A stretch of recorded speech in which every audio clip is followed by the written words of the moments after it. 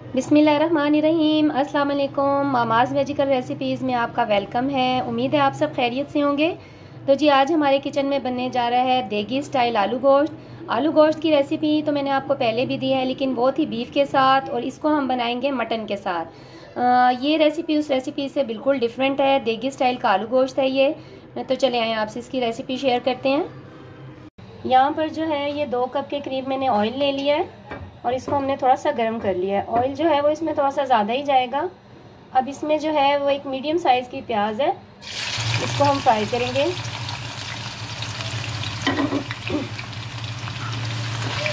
इसे हम इतना फ्राई करेंगे कि इसमें लाइट सा गोल्डन कलर आ जाए।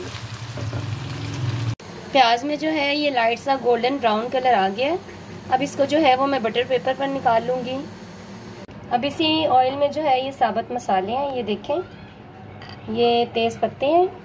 दो अदद तीन अदद दारचीनी के टुकड़े हैं, दो अदद बादन के फूल हैं, सब्ज़ इलायची हैं दो अदद, और दो अदद जो है वो बड़ी इलायची है।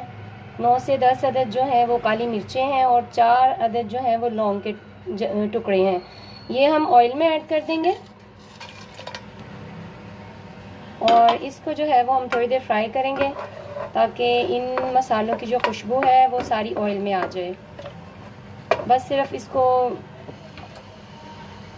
एक से आधे मिनट के लिए हम फ्राई करेंगे। लो फ्लेम पे करेंगे इसको फ्राई।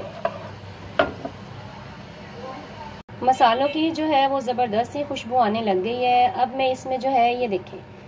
ये मटन का गोश्त है, आधा किलो गोश्त है मेरे पास। ये हम इसमें ऐड कर देंगे।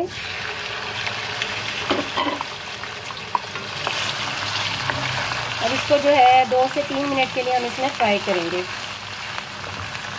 ये गोश्त को फ्राई होते हुए दो से तीन मिनट गुजर चुके हैं। और ये देखें, ये वन टीस्पून जो है अदरक का पेस्ट है, वन टीस्पून लहसुन का पेस्ट है और हाफ़ टी स्पून ये भी पीसी हुई हरी मिर्ची हैं।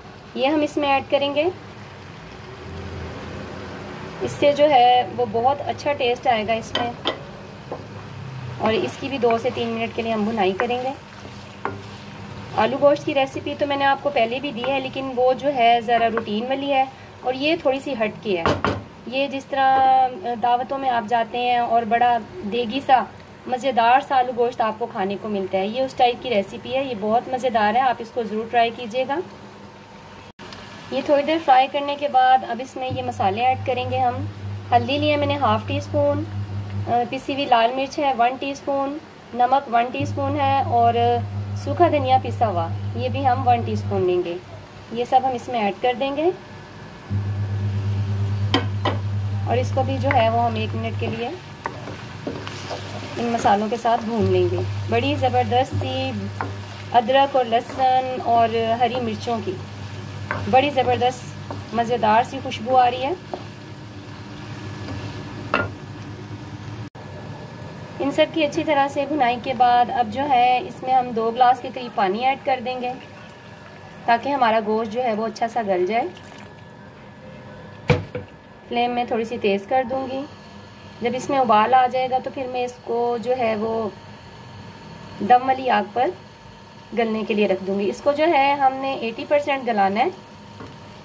पूरा नहीं गलाना गोश्त को, क्योंकि अभी हमने इसमें दही भी ऐड करना है और उसके साथ भी इसको पकाना है। अब जो है इसको मैं थर्टी मिनट्स के लिए ढक रही हूँ ताकि हमारा गोश्त जो है वो अच्छा सा गल जाए।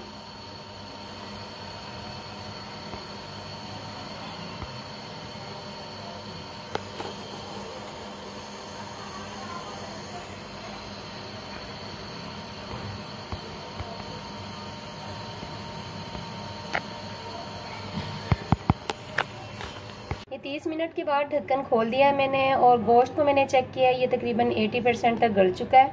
अब जो है, हम इसमें ये दही फोर टेबल स्पून दही लिया मैंने, ये इसमें ऐड करेंगे।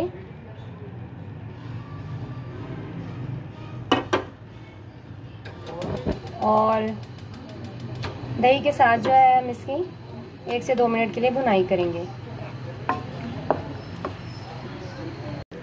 ये एक छोटा सा टुकड़ा जायफल का लिया है मैंने और छोटा सा ही टुकड़ा जावत्री का लिया है। और ये जो हमने प्याज फ्राई की थी इसको जो है हम ग्राइंडर में डालकर अच्छा सा पीस लेंगे। गोश्त की और दही की अच्छी सी बुनाई हो चुकी है। अब इसमें ये प्याज ऐड कर दूँगी मैं, जिसको हमने पीस लिया था। और उसके बाद ये चार सा आलू लिए मैंने दरमियाने साइज़ के, ये ऐड कर देंगे हम इसमें। और तकरीबन डेढ़ से दो ग्लास के करीब पानी ऐड करूँगी मैं इसमें। आप अपनी मर्ज़ी से कम या ज़्यादा कर सकते हैं पानी। मैं इसमें बहुत ज़्यादा पानी ऐड नहीं करूँगी, क्योंकि ये जो है, ये थोड़ा सा थिक ही अच्छा लगता है। अब इसको हम अच्छे से हिला देंगे और इनको जो है, वो तकरीबन 10 मिनट का दम दूँगी मैं आलूओं को, ताकि हमारे आलू भी गल जाएँ और जो गोश्त में थोड़ी सी कसर थी वो भी ख़त्म हो जाए। आलू जो हैं, वो गल चुके हैं। अब जो है वो इसमें मैं ये मसाले ऐड करूँगी। ये गरम मसाला है हाफ़ टी स्पून ये हम इसमें ऐड कर देंगे। ये जायफल और जलवत्री का पाउडर ये ऐड करेंगे। हाफ़ टी स्पून इसमें ज़ीरा ऐड करेंगे।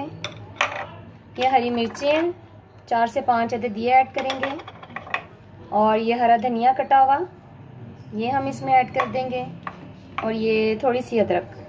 लंबी लंबी सी काटी है मैंने। ये हम इसमें ऐड करेंगे। इसको जो है वो थोड़ा सा हिलाएँगे हम और इसे जो है वो मैं ढक के रख दूँगी ताकि इन सब चीज़ों के फ्लेवर जो हैं वो इसमें आ जाएँ और ऑयल भी जो है वो भी ऊपर आ जाए। फिर मैं आपको इसे डिश आउट करके दिखाती हूँ। और ये देखें जी, हमारी मज़ेदार सी देगी स्टाइल आलू गोश्त की रेसिपी बिल्कुल रेडी है।